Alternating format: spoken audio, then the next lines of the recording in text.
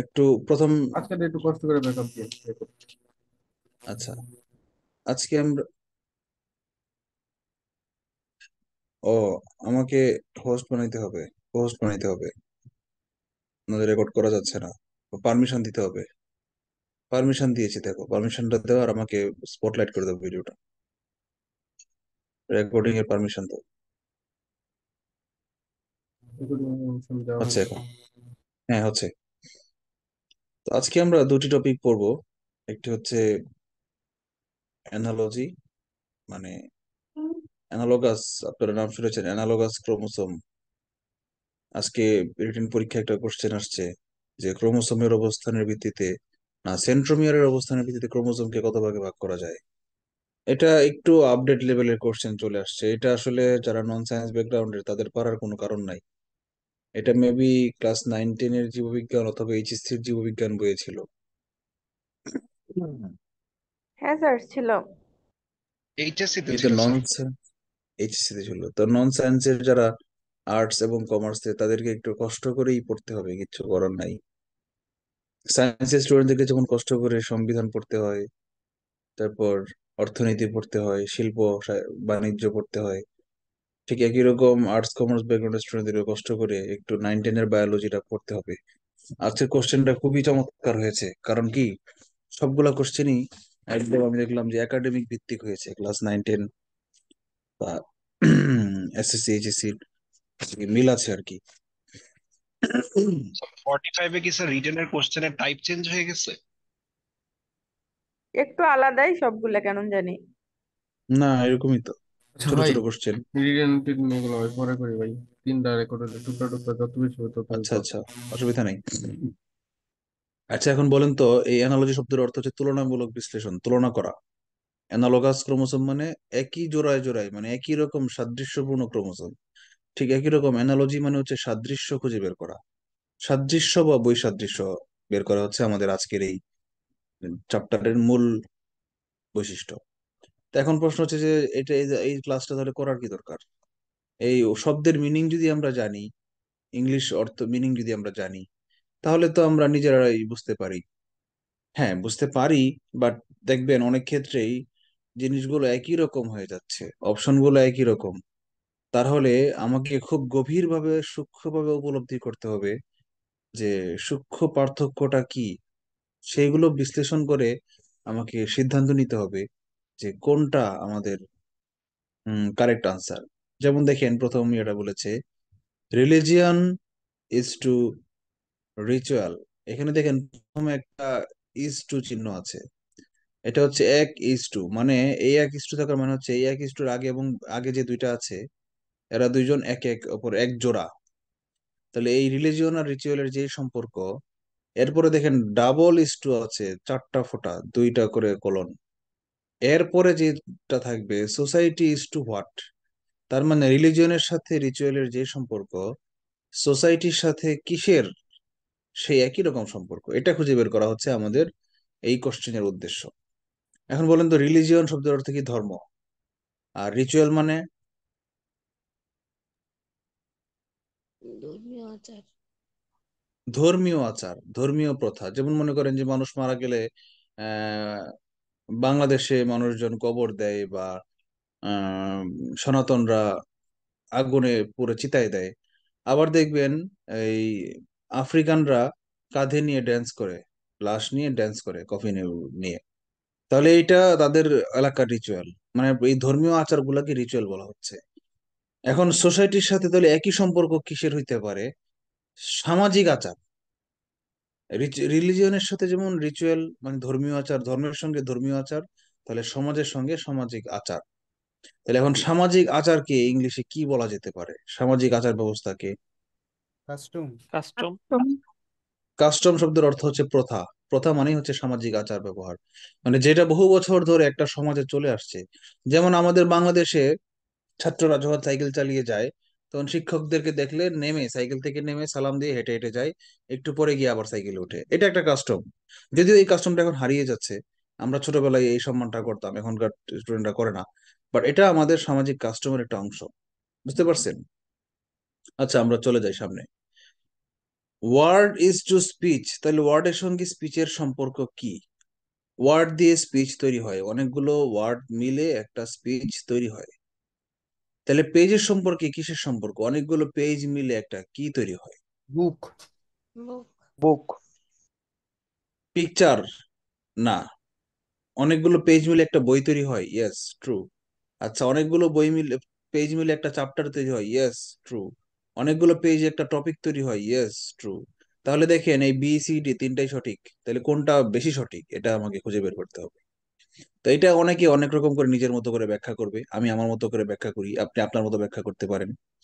দেখেন, এই ওয়ার্ড এবং স্পিচের যে সম্পর্কটা, দেখেন, অনেকগুলো ওয়ার্ড মিলে প্রথমে তৈরি হয় একটা সেন্টেন্স পরে সেন্টেন্সের পরে সামারি যেটা ফাইনাল যেটা পেলাম আমি, সেটা হলো স্পিচ ঠিক একই রকম, অনেকগুলা পেজ মিলে একটা টপিক হয়, কয়েকটা টপিক মিলে একটা চ্যাপ্টার হয় but at the end of the day একদম ফাইনাল প্রোডাক্ট কি? সবশেষে কি পাচ্ছি আমি? বই পাচ্ছি। আরও পয়েন্ট অফ ভিউ থেকে এটা আনসার বুক হতে পারে। যেমন দেখেন, আরও কিছু কিছু অনেকগুলো পয়েন্ট অফ ভিউ আপনাকে খুঁজে বের করতে হবে। ওয়ার্ড এবং স্পিচ এই দুইটাই হচ্ছে অ্যাবস্ট্রাক্ট নাউন ধরা যায় না, ছোঁয়া যায় না। বাট পেজ শব্দটা কিন্তু মানে ম্যাটেরিয়াল নাউন হিসেবে আমি ধরতে পারি। পেজ যদি পেজ নাম্বার বোঝায়, তাহলে সেটা অ্যাবস্ট্রাক্ট নাউন বাট যদি পেজ দিয়ে আমাকে একটা পাতা বোঝানো হয়, তাহলে সেটা কিন্তু ম্যাটেরিয়াল নাউন তাহলে ম্যাটেরিয়াল নাউনকে যদি বলি কয়েকটা পাতা মিলে একটা একটা ম্যাটেরিয়াল বলেন এই তিনটা অপশনের মধ্যে বুক চ্যাপ্টার টপিক এই তিনটার মধ্যে ম্যাটেরিয়াল নাউন কোনটা? বুক তো এইসব এই পয়েন্ট বলতে বলেন। চাচ্ছিলাম যে একটা চ্যাপ্টার একটা পেজের মাধ্যমে একটা পেজেই কিন্তু সম্পূর্ণ হতে পারে বা একটা টপিক একটা পেজেই সম্পূর্ণ হতে পারে কিন্তু বই কিন্তু একটা পেজ দিয়ে সম্পূর্ণ হবে না। বই হবে হতে না পেজ লাগবে। কালেকশন অফ পেজ তার মানে দেখেন ওয়ার্ড অফ স্পিচের মধ্যে সম্পর্ক যেটা সেটা হচ্ছে স্পিচ হবে সবসময় ওয়ার্ড কালেকশন অফ ওয়ার্ড এক ওয়ার্ডে কখনো একটা স্পিচ হয় না। এক ওয়ার্ডে একটা সেন্টেন্স হইতে পারে স্টেটমেন্ট হইতে পারে বাট একটা ওয়ার্ডে কখনো স্পিচ হতে পারে না। স্পিচ মানে বক্তব্য। বক্তব্য মানে এখানে অবশ্যই একাধিক বাক্য থাকতে হবে।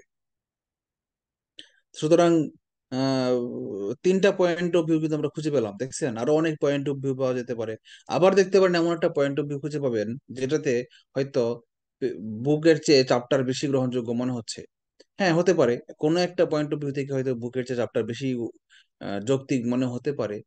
তখন আপনাকে খুঁজতে হবে কোন লজিক কোন কোন অপশনটার পিছনে লজিকের সংখ্যা বেশি, এটাও খুঁজে বের করতে হবে। আবার, যেই লজিকগুলো পাওয়া যাচ্ছে, সেই লজিকগুলোর মধ্যে কোনটা অকাট্য, সেটাও খুঁজে বের করতে হবে। বুঝতে পেরেছেন? আচ্ছা art is to culture then education is to what আচ্ছা আর্ট মানে কি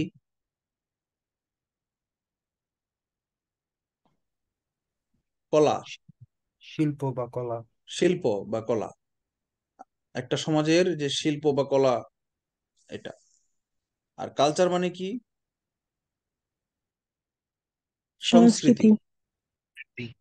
তাহলে সংস্কৃতির উপাদান কলা নাকি কলার উপাদান সংস্কৃতি? অনেকগুলো কলা বলেন। কলা। সংস্কৃতির উপাদান কলা। সংস্কৃতির উপাদান কলা। এক্স্যাক্টলি সবগুলো কলা মিলে একটা কালেক্টিভ মানে কালেকটিভলি একটা কালচার তৈরি হয়। এই ডিফারেন্সটা এইটাই আপনাকে বুঝে বের বের করতে হবে। যেমন মনে করেন যে চিত্রকলা একটা কলা। নাট্যকলা একটা কলা। শিল্পকলা একটা কলা। তা এই সব কলা মিলে হচ্ছে বাংলার সংস্কৃতি। তার মানে বুঝতে পারছি যে এই আর্টটা হচ্ছে ক্ষুদ্র অংশ আর কালচারটা হচ্ছে ফাইনাল কম্বিনেশন। ঠিক একই রকম এডুকেশনের মিলে কি হয়? বিভিন্ন রকম এডুকেশন মিলে বা একাধিক এডুকেশনের ফলাফল কি হতে পারে? এটা আমাদেরকে বুঝতে হবে। এডুকেশনের ফলাফল কি কলেজ না। এডুকেশনের ফলাফল কি স্কিল হ্যাঁ হতে পারে। রাখলাম অপশনে বাকিগুলো একটু দেখি, এর চেয়ে যৌক্তিক কিছু হয় কিনা। এডুকেশনের ফলাফল কি স্কলারশিপ না। এডুকেশনের ফলাফল কি ওয়েলথ না। তাহলে এডুকেশনের ফলাফল হচ্ছে স্কিল এখন কেউ বলতে পারেন, স্যার এডুকেশনের ফলাফল তো ওয়েলথ হতে পারে, যারা শিক্ষিত তারা ধনী হয়। না, এটার ব্যতিক্রম আছে। শিক্ষিত মানুষ হইলেই যে ধনী হবে তার কোনো গ্যারান্টি নাই, আর গরিব, কম শিক্ষিত হলে গরিব হবে তার কোনো গ্যারান্টি নাই। কিন্তু শিক্ষিত হলে আমার স্কিল বাড়বে। অনেকগুলো এডুকেশনের ফলাফল হচ্ছে আমি একটা স্কিল্ড ম্যান এটা কিন্তু অকাট্য। তাহলে এই লজিকটা বেশি স্ট্রং এই জন্য এই বি নাম্বারটাকে আনসার দিতে হবে। কেউ কিছু বলবেন?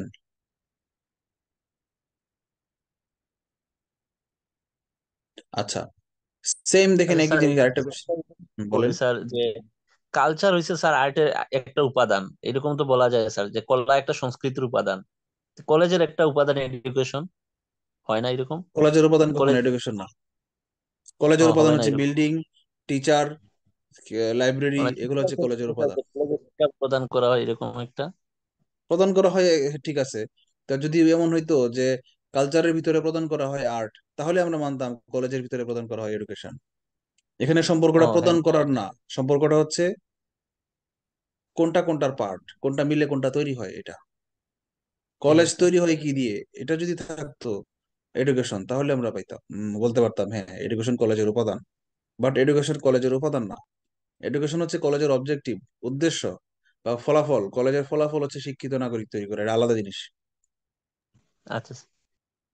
আচ্ছা art is to culture same question but এখানে এডুকেশনের জায়গায় আছে হচ্ছে ট্রেনিং ট্রেনিং করলে কি লাভ হয়? ট্রেনিং এর ফলাফল কি?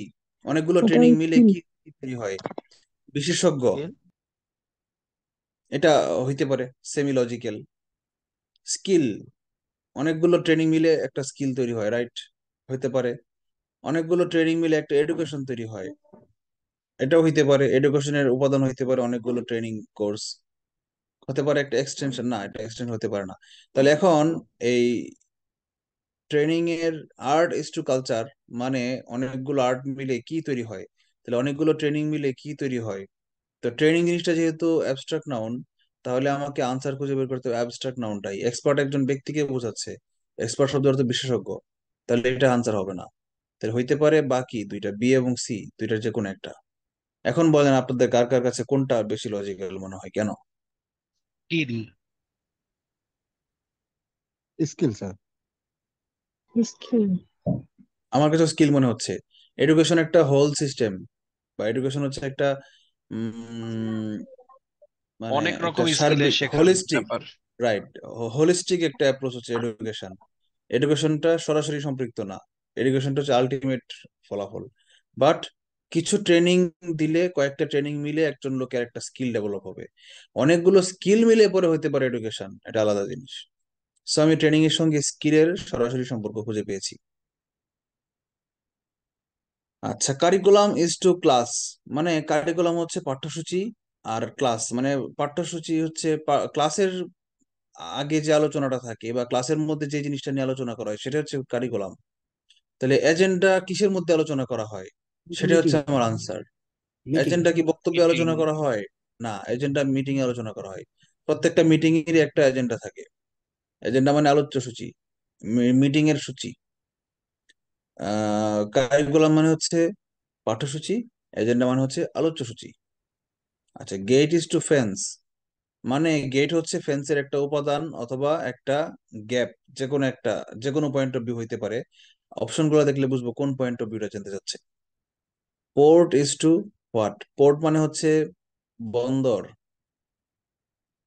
বন্দরটা কিসের উপাদান? আমরা একটু দেখি। একটা হচ্ছে ডক। ডক মানে বুঝেন তো জাহাজের উপরে যে ডক থাকে। জাহাজ যেখানে নোঙর করে। নোঙর করে একটা অনেক ডক ইয়ার্ড বলা হয় অনেকগুলো জাহাজ একসঙ্গে থাকে। তো বন্দরের একটা ছোট্ট অংশকে ডক ইয়ার্ড বলা হতে পারে। আচ্ছা তাহলে এই সম্পর্কটা এখানে উল্টা হয়ে গেল। ডেস্টিনেশন হচ্ছে গন্তব্য না গন্তব্য না।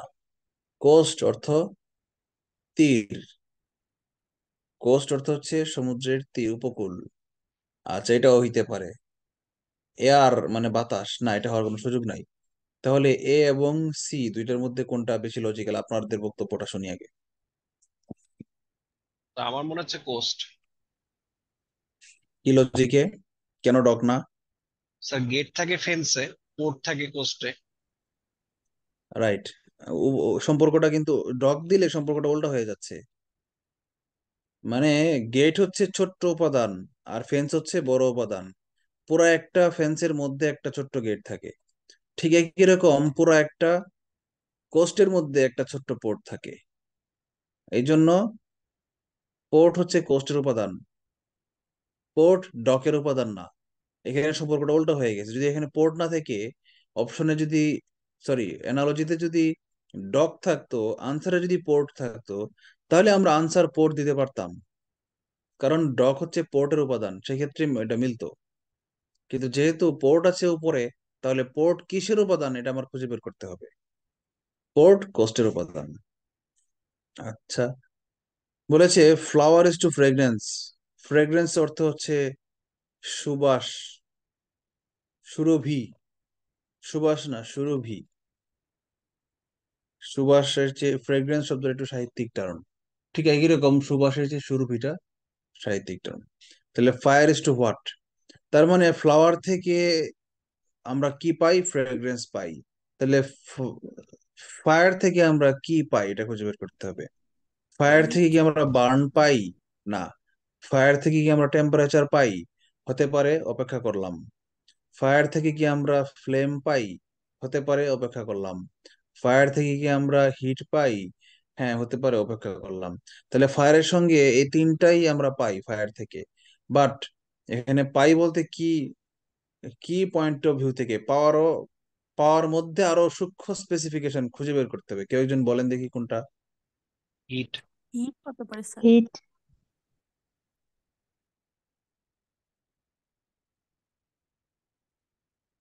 টেম্পারেচার আর হিটের মধ্যে আমি হিটটাকে বেশি প্রাধান্য দিব। কারণ টেম্পারেচার আমরা পাই না, পাই হিট টেম্পারেচার হচ্ছে হিট মাপার একটা টেকনিক বা একটা একক বলতে পারেন। কিন্তু টেম্পারেচারটা একক না, আমরা পাই হচ্ছে হিট হিট দিলে আমাকে যখন ফায়ার যখন আমাকে হিট দেয়, তখন আমার ভিতরে টেম্পারেচার বেড়ে যায়, সেটা অন্য প্রসঙ্গ। বাট আমাকে সরাসরি ফায়ার কি দিচ্ছে? ফায়ার আমাকে সরাসরি হিট দিচ্ছে। এই জন্য এই পয়েন্ট অফ ভিউ থেকে ফায়ার থেকে হিট আমরা পাই, এটা সঠিক। বাট ফ্লেম কেন না? ফ্লেমের চেয়ে হিটের চেয়ে ফ্লেম বেশি যুক্তি কিনা? আপনাদের কাছে কি মনে হয়? আমার কাছে তো ফ্লেম মনে হচ্ছে স্যার। কারণ ফ্লেম মানে কারণ? হচ্ছে শিখা আগুনের শিখা হ্যাঁ। ফুল থেকে যেমন আমরা সুরভি পাই আর আগুন থেকে সেরকম আমরা আগুনের শিখাটা পাই। এটাই আমার কাছে মনে হচ্ছে। আমার কাছে ফ্লেমটাই বেশি ইয়ে মনে স্যার হচ্ছে। হিট তো স্যার দেখা যায় না ফ্রেগনেন্সও দেখা যায় না। তাহলে হিট হওয়ার কথা না? হিটই হবে দেখা যায় না এটা হওয়ার একটু কথা লজিক স্যার। স্যার আসলে ফ্লাওয়ার দেখা থেকে যায় তো না। নির্গত হয় নর্মালি হচ্ছে গিয়ে যেটা ফুল থেকে ফ্লাওয়ার সুগন্ধ আসে আগুন থেকে তাপ আসে। আচ্ছা আরেকজন বলেন তো কি বল ফ্লেম কি বলতে চাচ্ছিলেন? একজন ভাইয়া বলতে চাচ্ছিলেন। ফ্লাওয়ার থেকে আহ, হচ্ছে গিয়ে ফ্রেগ্রেন্স নির্গত হয় আর ফায়ার থেকে হিট নির্গত হয় ফ্লেম নির্গত হয় না এইটাই হচ্ছে ইয়া বিষয়টা হচ্ছে চারদিকে ছড়িয়ে যাওয়ার বিষয়টা উদ্গীরণ এই চারদিকে ছড়িয়ে যাওয়ার পয়েন্ট অফ ভিউটা থাকলে আমরা কিন্তু ফায়ার থেকে আমরা হিট চারদিকে নিগ্রত হয়। আমরা কি ফিল করতে পারি? আমরা ফ্লাওয়ার থেকে ফিল করতে পারি কি? ফ্রেগরেন্স ঠিক একই রকম ফায়ার থেকে আমরা কি ফিল করতে পারি? হিট আমরা কিন্তু ফ্লেম ফিল করি না, আমরা ফিল করি হিট আবার চারদিকে ছড়িয়ে যায় কিন্তু ফ্লেম না, চারদিকে ছড়িয়ে যায় হিট তাহলে এই দুইটা পয়েন্ট অফ ভিউ থেকে ফ্লেমের চেয়ে হিটটা বেশি গ্রহণযোগ্য। আচ্ছা আমরা এবার একটু পরেটা দেখি। Gold is to jewellery gold হচ্ছে ওয়ান টাইপ অফ জুয়েলারি আচ্ছা আর বুক হচ্ছে সামথিং তাহলে বুকটা কিসের অংশ? জুয়েলারির অংশ হচ্ছে গোল্ড জুয়েলারির ভিতরে গোল্ডও থাকতে পারে প্লাটিনাম থাকতে পারে ডায়মন্ড থাকতে পারে অনেক কিছু থাকতে পারে। রুবি থাকতে পারে। ঠিক একই রকম বুকসটা কিসের মধ্যে থাকতে পারে? আচ্ছা টিচারের ভিতরে বুকস থাকতে পারে? না। রিডিং রুমে বুকস থাকতে পারে? থাকতে পারে। লাইব্রেরিতে বুকস থাকতে পারে? হ্যাঁ লাইব্রেরিতে বুকস থাকে। আর দেখার দরকার নাই। স্কুলে বুকস থাকতে পারে? না। সরাসরি লাইব্রেরিতেই বুকস থাকে। বই রাখার আধারকে কি বলা হয়? লাইব্রেরি বলা হয়, সোজা আলাপ। রিডিং রুম বলা হয় না। রিডিং রুমে বই থাকে না। মানুষ বই নিয়ে যায়। বাট বই যেখানে থাকে, সেটাকে বলা হয় লাইব্রেরি সো রিডিং রুম এবং স্কুল তিনটাই আনসার হইতে পারতো বাট লাইব্রেরিটা সবচেয়ে বেশি ডিরেক্টলি রিলেটেড তাই না? Honey is to hive hive অর্থ হচ্ছে মৌচাক। ঠিক একই রকম ওয়াইন ইজ টু হোয়াট মানে হানির আধার হচ্ছে হাইভ তাহলে আধারটা হচ্ছে আনসার ঠিক একই রকম ওয়াইনের আধারটাকে আনসার বলা হবে। ওয়াইন মানে হচ্ছে এক প্রকার মদ। আপেল দিয়ে তৈরি হয়। না আপেল দিয়ে তো সিডার তৈরি হয়। আঙ্গুর দিয়ে তৈরি হয় ওয়াইন হ্যাঁ আঙ্গুর আঙ্গুরের গ্রেপস ওয়াইন এখন এই ওয়াইন রাখে কোথায়? সেটাই হচ্ছে আমার আনসার টাবে কি রাখে? বাথ টাব টাবে পানি রাখে। টাব অর্থ গামলা। না। কাস্ক অর্থ কি? আচ্ছা কাস্ক পরে বলতেছি। বোল অর্থ কি? বোল গামলা পানি রাখার জন্য। গ্লাস কি? গ্লাসও পানি রাখার জন্য। ওয়াইন রাখার জন্য গ্লাস স্পেসিফিক্যালি গ্লাস না। হ্যাঁ গ্লাস দিয়ে ওয়াইন খাওয়া যেতে পারে। বাট ওয়াইন রাখার জায়গাটাকে স্পেসিফিক্যালি গ্লাস বলে না। সেটাকে স্পেসিফিক্যালি ক্যাস্ক এ বলা হয়। ক্যাস্ক হচ্ছে এক প্রকার বিশেষ ধরনের গুগলে সার্চ দিন আপনারা দেখতে পারবেন। এক প্রকার বিশেষ ধরনের কাঠের তৈরি একটা কি কাঠ যেন, ওক কাঠ মনে হয় সম্ভবত, ওক গাছের অথবা পাইন গাছের কাঠ দিয়ে তৈরি ওয়াইন খাওয়ার জন্য একটা বিশেষ প্রকার পাত্র। হানি ইজ টু হাইভ যদি হয় মানে দেখেন, রিপিট হয়েছে কিন্তু কোশ্চেন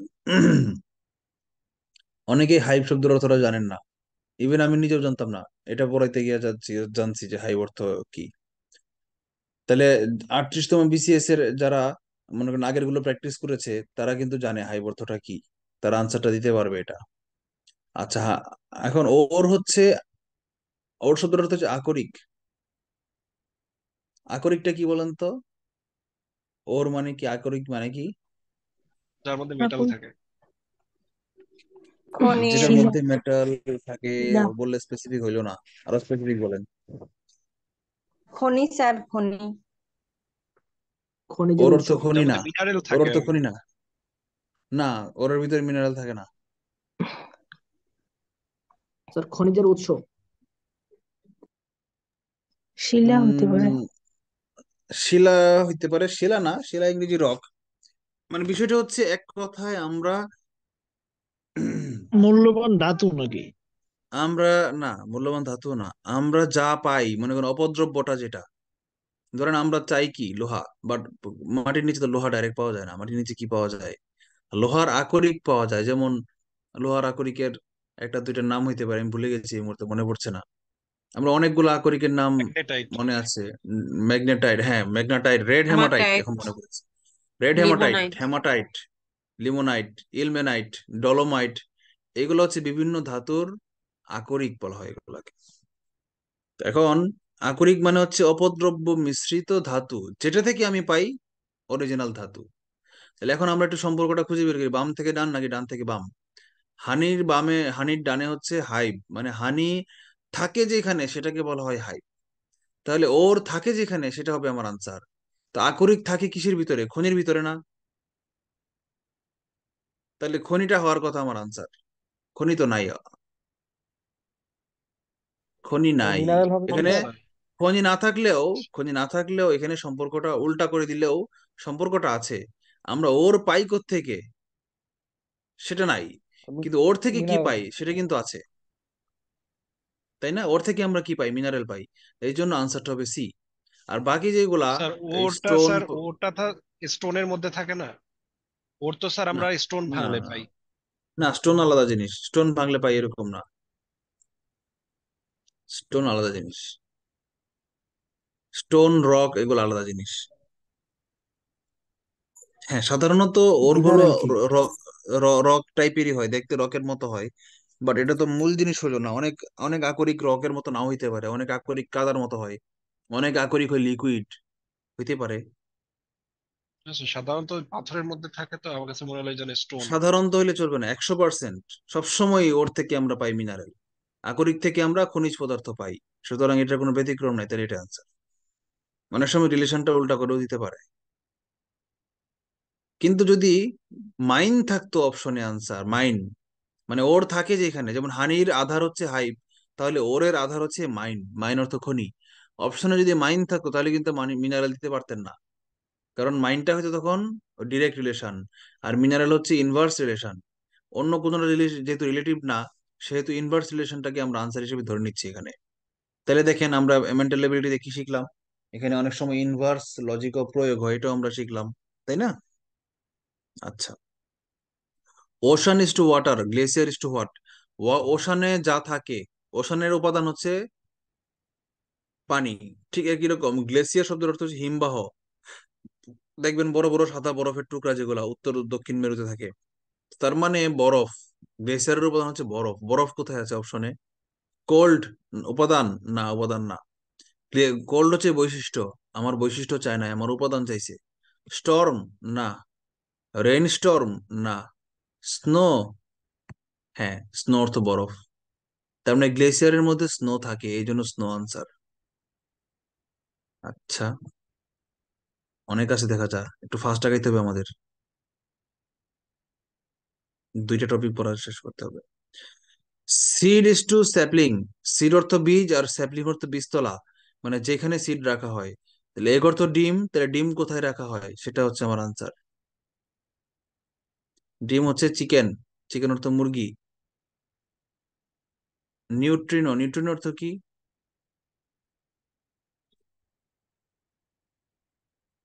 একটা মৌলিক কণিকা। প্রোটনের একটা পার্ট ছিল হ্যাঁ স্যার হ্যাঁ একটা মৌলিক কণিকা। চিক অর্থ মুরগি। আচ্ছা চিক আর চিকেন নিয়ে পরে আলোচনা করব। এ আর সি অপশনে রাখলাম আমরা। অমলেট হচ্ছে ডিমের ভাজি? না এটা না। ডিম থেকে আমরা কি পাচ্ছি সেটা না। এই স্যাপলিং অর্থ কি? স্যাপলিং অর্থ কি বীজতলা আমি তো নিজেই ভুলে গেলাম।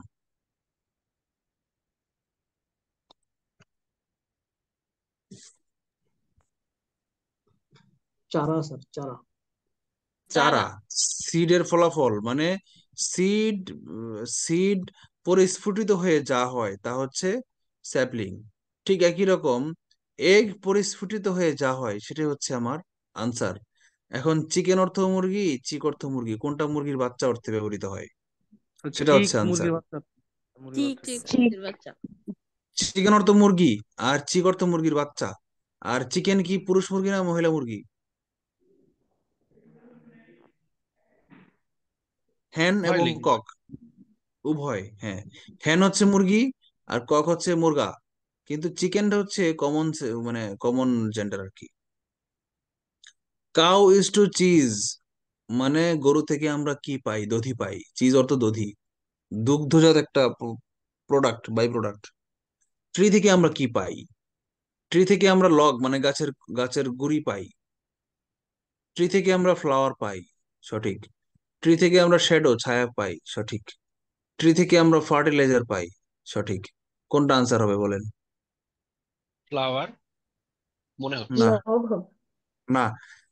আমার কাছে মনে হচ্ছে ফার্টিলাইজার হবে।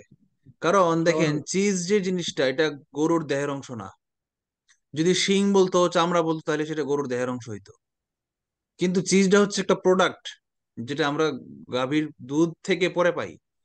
তো লগ হচ্ছে সরাসরি ট্রি এর অংশ ফ্লাওয়ারও সরাসরি ট্রি এর অংশ শ্যাডো সরাসরি, না শ্যাডো সরাসরি ট্রি এর অংশ না বাট এটার মানে যৌক্তিকতাটা অন্যরকম, মিল সেম না। কাউ এবং চিজের যে সরাসরি সম্পর্ক সেরকম না। কিন্তু ডি নাম্বার যেটা, এটা সবচেয়ে বেশি যৌক্তিক। কেন দেখেন? গাছ থেকে পরে আমরা ফার্টিলাইজার পাই। গাছ যখন পচে যায়, তখন সেটা সার উৎপন্ন হয়, সবুজ সার, পাতা সার, জৈব সার। মরা গাছ থেকে, পচা গাছ থেকে আমরা সার উৎপন্ন হয়। তবে হ্যাঁ এটাও কিন্তু হ্যাঁ? শীটে বি দেওয়া আছে আনসার ফলোয়ার। আচ্ছা আচ্ছা এখানে কিন্তু আবার একটা অ্যান্টি লজিক ফার্টিলাইজারের ক্ষেত্রে একটা অ্যান্টি লজিক চলে আসতেছে। সেটা হচ্ছে যে ট্রি এর সঙ্গে ফার্টিলাইজার সম্পর্ক হচ্ছে আচ্ছা অসুবিধা নাই নতুন করে শুরু করব আমরা। সার হচ্ছে সবাই এক মিনিটের মধ্যে সবাই এক দুই মিনিটের মধ্যে জয়েন করেছেন রিজয়েন করেছেন এই জন্য সবাইকে ধন্যবাদ। Very smart okay spotlight Enamul বলেছে যেটা বলছিলাম যে ট্রি এর খাদ্য উপাদান হতে পারে ফার্টিলাইজার এখানে আবার একটা অ্যান্টি লজিক বিপরীত লজিক বিদ্যমান হইতে পারে। কিন্তু ট্রি থেকে আমরা যে জিনিসগুলো পাই শ্যাডো লগ ফ্লাওয়ার এই তিনটার মধ্যে কিন্তু কোনো বিতর্ক নাই। এই তিনটাই আমরা ট্রি থেকে পাই। আচ্ছা আবার আরেকটা জিনিস। শ্যাডোটা কিন্তু ইয়া না। মানে অ্যাবস্ট্রাক্ট নাউন শ্যাডোটা ম্যাটেরিয়াল নাউন না। কিন্তু আমরা যে জিনিসগুলো পাই, সেগুলো খুঁজতে চাচ্ছি আমরা ম্যাটেরিয়াল নাউন চিজটা কি? বস্তুজাত ধরা যায়, দেখা যায়, ছোঁয়া যায়। ট্রি থেকে আমরা এমন কোন জিনিস পাই, যেগুলো বস্তুজাত এক হতে পারে ট্রি থেকে আমরা পাই লগ আরেক হতে পারে ট্রি থেকে আমরা পাই ফ্লাওয়ার এখন লগ আর ফ্লাওয়ারের মধ্যে কি পার্থক্য হতে পারে। এই চিজটা হচ্ছে, মনে করেন, গরুর উপজাত, গরুর দেহের অংশ না। মানে গরু থেকে আমরা পাই দই, আবার শেষ হয়ে যায়, আবার দুধ দেয়, আবার দুধ শেষ হয়ে যায়, আবার দুধ দেয়। কিন্তু লগ, ল ট্রি থেকে আমরা এই দুইটা জিনিস একই রকম ভাবে পাই, বাট পার্থক্য হচ্ছে, এই ফ্লাওয়ারটা কিন্তু এরকম, ফুল ফুটে, আবার ঝরে যায়, ফুল পায়, আবার ফুটে, আবার ধরে যায়। ফুলটা সরাসরি গাছের দেহের অংশ না, গাছের কাণ্ড না বা পাতা না বা ডাল না বা মূল না। ফুলটা হচ্ছে গাছের বাচ্চা বলতে পারেন, গাছের সন্তান বা গাছের প্রজনন তন্ত্রের একটা অংশ। ঠিক যেটা গরুর ক্ষেত্রে মানে গরুর দুধটা কি মানে গরুর দেহের অংশ না, দেহ থেকে বারবার পাচ্ছি আমরা। কিন্তু লগটা কিন্তু ওইরকম ভাবে আমরা বারবার পাচ্ছি না। লগটা সরাসরি গাছের দেহের অংশ, লগ শব্দের অর্থ কাণ্ড। যদি গরুর ক্ষেত্রে থাকতো কাউ ইজ টু মেরুদণ্ড ভার্টিব্রা তাহলে হয়তো হ্যাঁ ট্রি ইজ টু লগ এটা আনসার হইতে পারতো। বাট মেরুদণ্ডটা যেমন গাছের দেহের মূল অংশ লগটাও গাছের দেহের মূল অংশ বাট চিজটা কিন্তু গরুর দেহের মূল অংশ না। ঠিক একই রকম ফ্লাওয়ারটাও গাছের দেহের মূল অংশ না। তাহলে এইভাবে, তবে যদিও লজিকটা খুব স্ট্রং না, কোনো না কোনো একটা ক্ষুদ্র লজিকে গাছের সঙ্গে ফ্লাওয়ারকে আমরা ওই একই রকম একটা মিল খুঁজে পাই এই জন্য আমরা আনসারটা বি দিতে পারি। বুঝতে পেরেছেন? আচ্ছা। Cloud is to rain cloud অর্থ মেঘ রেইন হচ্ছে কি হলো স্যার আমি একটু মিস করে ফেলছি। তাহলে আমরা ফ্লাওয়ারই দিই আনসার যদি ওটা লজিক না আনসার আমরা কোনো না কোনো পয়েন্ট অফ ভিউতে এটা ফার্টিলাইজারও লিখতে পারি আবার অন্যান্য পয়েন্ট অফ ভিউতে লগো আনসার হইতে পারে। আমারও মনে হয়েছে ফ্লাওয়ার কারণ স্যার চিজ উৎপন্ন হয় তো এই জন্য এই হিসাবে। হ্যাঁ হ্যাঁ হ্যাঁ প্রোডাক্ট প্রোডাক্ট বলতে যেটা বোঝায়। লগ কিন্তু গাছের প্রোডাক্ট না লগ হচ্ছে গাছের বডির পার্ট আচ্ছা। ক্লাউড ইজ টু রেইন মানে ক্লাউড হচ্ছে মেঘ থেকে ফলাফল কি পাই আমরা বৃষ্টি পাই। ঠিক একই রকম ভেপারের ফলাফল কি পাই? ভেপার মানে কি? বাষ্প। বাষ্পর ফলাফল কি? অনেকগুলো বাষ্প মিলে কি হয়? রাইট ময়েশ্চার তৈরি হয়। বাষ্প মানে হচ্ছে যেটা পানি থেকে যেটা উঠতেছে। একদম দেখা যাচ্ছে সাদা সাদা ধোঁয়ার মতো, এটা হচ্ছে বাষ্প। আর এই বাষ্প মিলে ময়েশ্চার মানে হচ্ছে কি? আর্দ্রতা আর কি হিউমিডিটি বা ময়েশ্চার কোল্ড হচ্ছে না কোল্ড না হিট না ফ্লো না ময়েশ্চার কন্ডুইট অর্থ হচ্ছে নালিকা, ক্ষুদ্র জালিকাকে কন্ডুইট বলা হয়। কন্ডুইটের ভিতর দিয়ে যা প্রবাহিত হয় তাই হচ্ছে ওয়াটার মানে প্রবাহিত হওয়ার সম্পর্কটা আমরা খুঁজে বের করব, কোনটায় পাওয়া যায়? বিহেভিয়ারের ভিতর দিয়ে লিকুইড প্রবাহিত হয়, না। ইলেকট্রিসিটির ভিতর দিয়ে টেলিভিশন প্রবাহিত হয়, না। আর্টারির ভিতর দিয়ে ব্লাড প্রবাহিত হয় হ্যাঁ? পরেরটা দেখি, না হলে এটা আনসার ওয়ারের ভিতর দিয়ে সাউন্ড প্রবাহিত হয়, না। তাহলে সি নাম্বার আনসার এখানে কোনো কনফিউশনই নাই। কার ইজ টু রোড মানে কার যেখানে চলে, তাহলে train is to what train যেখানে চলে, সেটাই হবে আনসার ট্রেন কোথায় চলে? টিকেটের উপর দিয়ে চলে না? রেলওয়ের উপর দিয়ে চলে? হ্যাঁ রেলওয়ে হইতে পারে, আমরা একটু দেখি বাকিগুলা। প্যাসেঞ্জারের উপর দিয়ে চলে না? স্টেশনের উপর দিয়ে চলে না? তাহলে railway answer train is to railway এই, কেউ প্রশ্ন না করলে আমি তো ফার্স্ট যাচ্ছি হ্যাঁ? দুইটা টপিক শেষ করব, তো একদিনে দুই ক্লাসে পড়া শেষ করব। কেউ না বুঝলে আমাকে সাথে সাথে প্রশ্ন করবেন, ঠিক আছে? Comet is to orbit comet অর্থ উল্কা? বা গ্রহ? অরবিট মানে কক্ষপথ মানে কমেট যেই পথ দিয়ে ঘুরে, সেটাকে বলা হয় অরবিট ঠিক একই রকম train is to what train যে পথ দিয়ে ঘুরে তাকে কি বলে? স্টেশন দিয়ে ঘুরে না। ট্র্যাক দিয়ে ঘুরে। ট্র্যাক মানে হচ্ছে পথ। কোনো কিছু যাওয়ার পথকে ট্র্যাক বলা হয়। দৌড়ানোর পথকেও ট্র্যাক বলা হয়। আচ্ছা হইতে পারে এটা। পরেরগুলো দেখি। ট্রেন কি জাংশন দিয়ে ঘুরে না? ট্রেন কি সিগন্যালের উপর দিয়ে ঘুরে না? ট্রেন হচ্ছে ট্র্যাক দিয়ে ঘুরে। ট্রেন চলার পথকে ট্র্যাক বলা হয়। অরবিট চলার পথকে যেমন কমেট চলার পথকে যেমন অরবিট বলা হয়, ঠিক তেমনি ট্রেন চলার পথকে ট্র্যাক বলা হয়। ফিশ ইজ টু ওয়াটার মানে আবার বলেন। স্যার ট্রেন স্টেশন দিয়ে যায় না? না ট্রেন তো স্টেশন দিয়ে যায় না। ট্রেন যেখানে থামে সেটাকে স্টেশন বলে। কমেট যেখানে থামে সেটাকে যদি থাকতো কমেট যদি কোন এক জায়গায় থামতো এবং সেটা যদি অপশনে থাকতো অরবিট না থেকে সেটা যদি থাকতো তাইলে আমরা বলতে পারতাম হ্যাঁ ট্রেন যেখানে থামে সেটাকে স্টেশন বলে। সেটা আনসার হইতে পারতো। আমার এখানে থামার কোথায় থামে ট্রেন সেটা গ্রহণযোগ্য না। ট্রেনটা চলতেছে যে চলার যে পথটা সেটাকে কি বলে? বারবার অতিক্রম করার যে রাস্তাটা সেটাকে কি বলে? রেলওয়েও হইতে পারে আনসার বা ট্র্যাকও হইতে পারে আনসার রেল ট্র্যাক বলে না rail track hill track rail track বলে কিনা জি স্যার আচ্ছা fish is to water fish থাকে যেটার ভিতরে? Tiger is to what tiger কিসের ভিতরে থাকে? ডিয়ারের ভিতরে থাকে না? ফরেস্টের ভিতরে থাকে? হ্যাঁ হইতে পারে। হইতে পারে। আর বাকিগুলো দেখি, জোয়ের ভিতরে থাকে হ্যাঁ ফ্লেশ মাংসের ভিতরে থাকে না। তাহলে জো এবং ফরেস্ট দুইটার মধ্যে কোনটা বেশি লজিক্যাল ওয়াটারটা হচ্ছে ন্যাচারাল তাহলে টাইগার ন্যাচারালি থাকে ফরেস্টে তাহলে ফরেস্টে হবে আনসার জোটা কৃত্রিম, এই জন্য জোটা আমরা আনসার দিব না।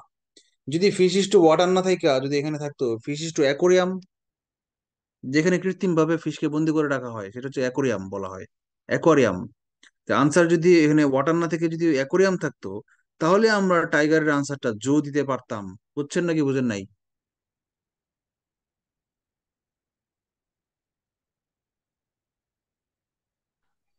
জিমনেশিয়াম ইজ টু এক্সারসাইজ মানে জিমে গিয়ে আমরা যেটা করি ইউনিভার্সিটি টু হোয়াট ইউনিভার্সিটিতে গিয়ে আমরা কি করি? ইউনিভার্সিটিতে গিয়ে আমরা স্টুডেন্ট করি না? ইউনিভার্সিটিতে আমরা ক্লাস করি না? ইউনিভার্সিটিতে আমরা স্টাডি করি হ্যাঁ। আচ্ছা তাহলে মানে study answer incubator is to infant incubator মানে হচ্ছে বাচ্চা জন্ম হওয়ার পরে দেখবেন একটা কাঁচের ছোট্ট ঘরের মধ্যে নীল রঙের আলো দিয়ে জ্বালা রাখে তাপ দিয়ে রাখে। সেটাকে ইনকিউবেটর বলা হয়। তাপ দেওয়ার জায়গাকে ইনকিউবেটর বলা হয়। শিশুদেরকে নবজাতক শিশুকে তাপ দেয় যেখানে। মানে দুইটা পয়েন্ট হইতে পারে। এক হচ্ছে ইনকিউবেটরের ভিতরে কাকে রাখা হয় সেটা? তাহলে গ্রিন হাউসের ভিতরে কাকে রাখা হয়? এটা। গ্রিন হাউসের ভিতরে কাকে রাখা হয়? গ্রিন হাউসের ভিতরে কি টেম্পারেচার রাখা হয়? না। পরিবেশকে রাখা হয়? না। গাছকে রাখা হয়? হ্যাঁ গ্রিন হাউসের ভিতরে গাছপালা হয়।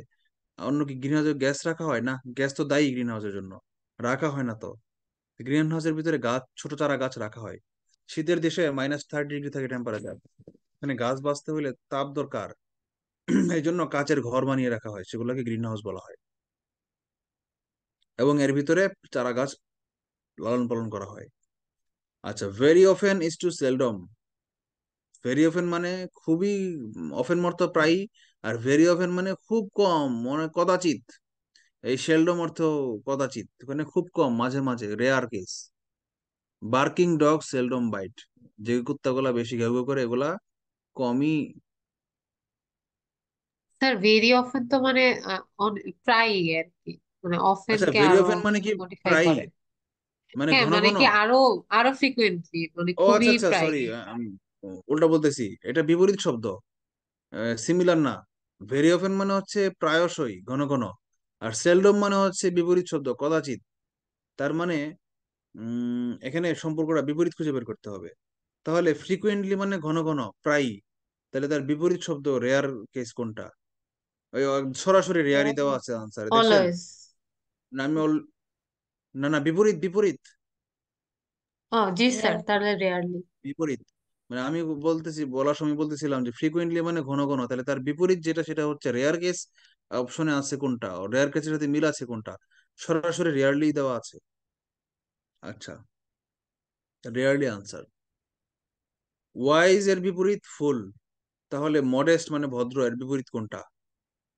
Vain play pretty conceited rough আচ্ছা রাফ মানে হচ্ছে কিছু পোলাপান আছে না, খটকা মানে আচরণটা একটু শক্ত। আপনি লেগে- একটা দোকানে গিয়ে বলেন, ভাই, কফি আছে? একজন বলবে, না ভাই, কফি তো শেষ। হাসি দিয়ে বলবে। আরেকজন বলবে, না। তাহলে দুটার মধ্যে পার্থক্য আছে একজন বলল ভাই, কফি তো শেষ হয়ে গেছে। সে বিনয়ের সাথে বলল। আরেকজন বলল, না, কফি বেশি না। মেজাজটা খারাপ করব না। আচ্ছা এখন তাহলে এটা হচ্ছে রাফ আর কনসিটেড শব্দের অর্থ হচ্ছে মাথা মোটা মানে আত্মহমিকা হাম্বর আর কি। আমি বিরাট খুব দাম্ভিক। এটাকে বলা হয় কনসিটেড প্রেটি অর্থ সুন্দর। না এটা সম্পর্ক নাই। ভেইন ভেইন অর্থ কি? আমি নিজেই ভুলে গেছি একটু দেখি তো গুগলে।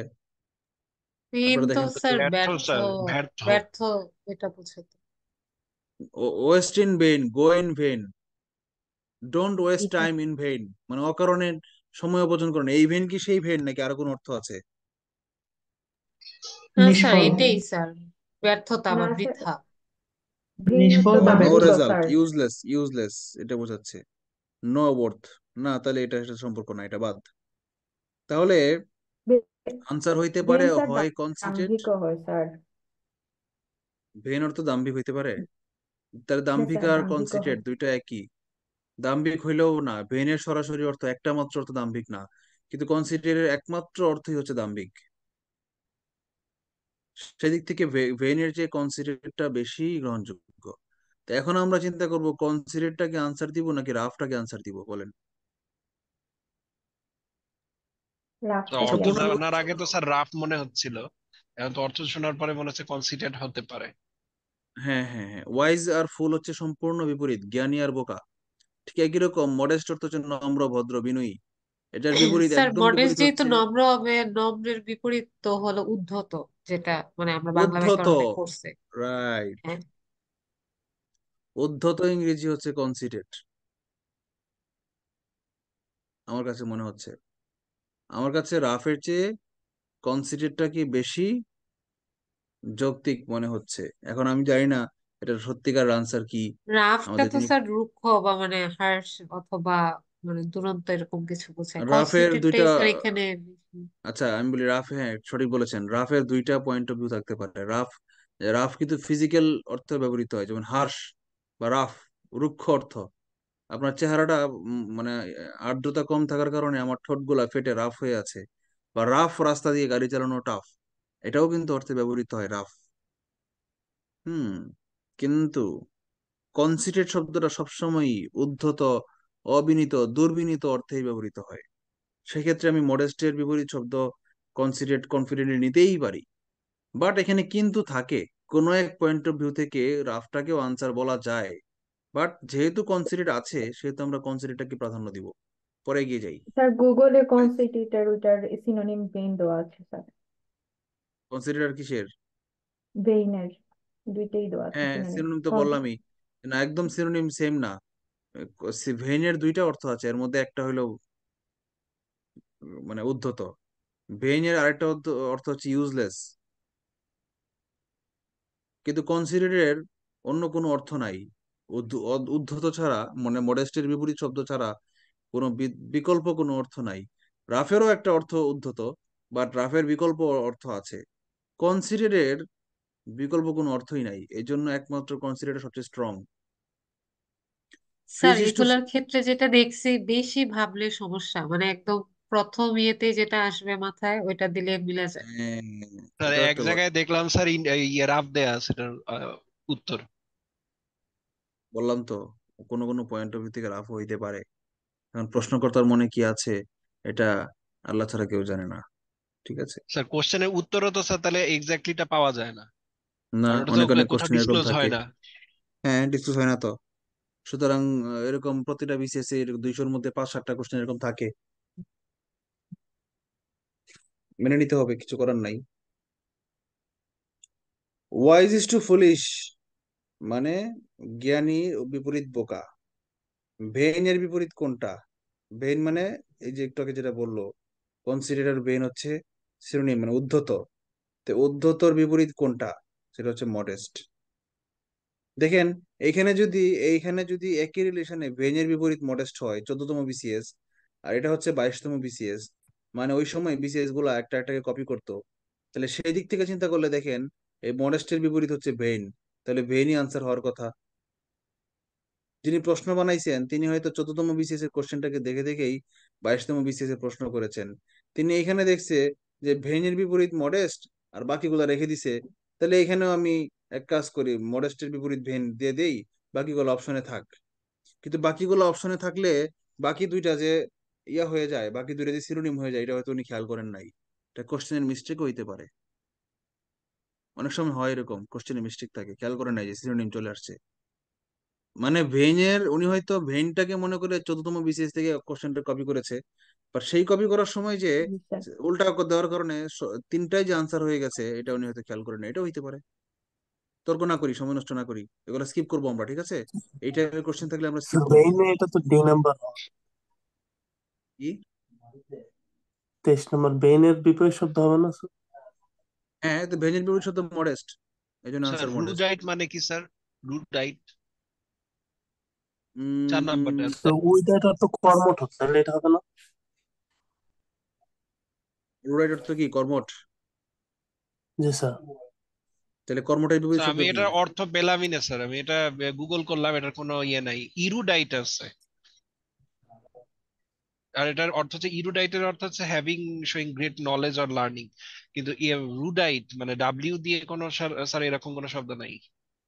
তাহলে এটা কি টাইপিং মিস্টেক হইতে পারে? হুম হুম হুম এরোডাইট শব্দ নাই। হইতে পারে, তাহলে টাইপিং মিস্টেক হইতে পারে। হোয়াটএভার এটা যদি এরোডেট হইতো, তবুও কিন্তু সেটা আমার আনসার হইতো না। কারণ এই ভেনের বিপরীত শব্দ নলেজ সম্পন্ন না। আনসারটা এখানে মডেস্ট এর কোনো বিকল্প নাই। ভেনের বিপরীত শব্দ একমাত্র মডেস্টই আছে এখানে এই জন্য modest answer without any confusion audience অর্থ শ্রোতা অডিয়েন্স বসে যেখানে সেটাকে বলা হয় সিট কিন্তু নাম্বারটা উত্তর দেওয়া। কি ডব্লিউ আর ইউডিআইটি হ্যাঁ হ্যাঁ জি স্যার। কোনো ব্যাখ্যা লেখা আছে? সেটা যে লেখা এখানে কোনো ব্যাখ্যা লেখা আছে? না স্যার শুধু অর্থ দেওয়া আছে যে জ্ঞানী আর কর্ম। জ্ঞানী যদি হয় তাহলে সেটা ভেনের বিপরীত হয় কেমনে? ভেন শব্দের অর্থ হচ্ছে ইউজলেস জ্ঞানী কর্ম। ও ওয়েট ওয়েট ওয়েট ওয়েট বুঝতে পেরেছি। ভেনটা যদি ভেনের কিন্তু অর্থ দুইটা। একটা হচ্ছে ইউজলেস আরেকটা হচ্ছে উদ্ধত। ব্যর্থ ব্যর্থ। হ্যাঁ রাইট একটা হচ্ছে ভাদাইম্মা একটা ব্যর্থ।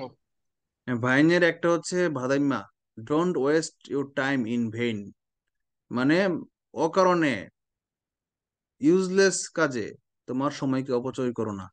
এই পয়েন্ট অফ ভিউ থেকে ভেইন শব্দের অর্থ হচ্ছে শেষ করে নেই।